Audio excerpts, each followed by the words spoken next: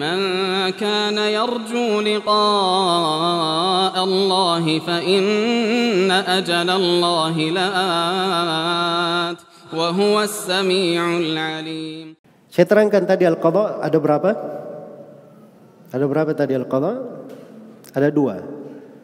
Yang pertama al-qadha al-kauniyul qadari dan yang kedua al-qadha ad-diniyul syar'i. Apa artinya al-qadha al-kauni al-qadari? Itu apa yang sudah Allah tetapkan, sudah Allah putuskan. Allah putuskan manusia itu ada yang beruntung, ada yang merugi. Ada penduduk sorga, ada penduduk neraka. Itu qadha namanya. Sudah Allah putuskan. Kau ini qadari. Iya. Dan ada qadha syar'i. Syar'i itu maksudnya hukum-hukum ketentuan agama. Allah tetapkan misalnya bagi orang yang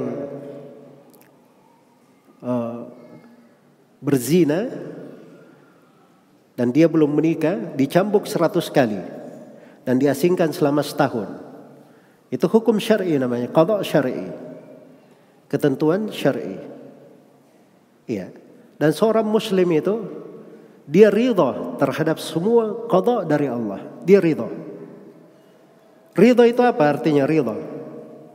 Ridha itu ketundukan hati sepenuhnya tidak ada di hati itu penolakan. Itu ridho namanya. Dan ridho itu jenjang di atas kesabaran. Kalau sabar itu kan jiwa kena sesuatu ditahan supaya tidak merintih, tidak berkeluh kesah. Itu sabar. Tapi kalau ridho tidak, jiwanya tenang. Dia menerima ya. Itu ridho namanya. Ridho terhadap ketentuan Allah. Iya. Itu adalah sifatnya orang-orang yang beriman. Makanya dari keindahan mereka dikatakan di akhir hayatnya ya ayatuhan nafsul mutmainnah irji'i ila rabbiki radiyatan mardiyah.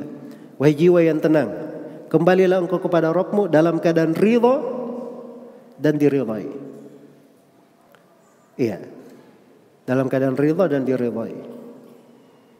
Jadi dia ini ridha kepada Allah Subhanahu wa taala pada segala ketentuan dan hukumnya. Pada apa yang Allah tetapkan. Itu sifat orang yang beriman.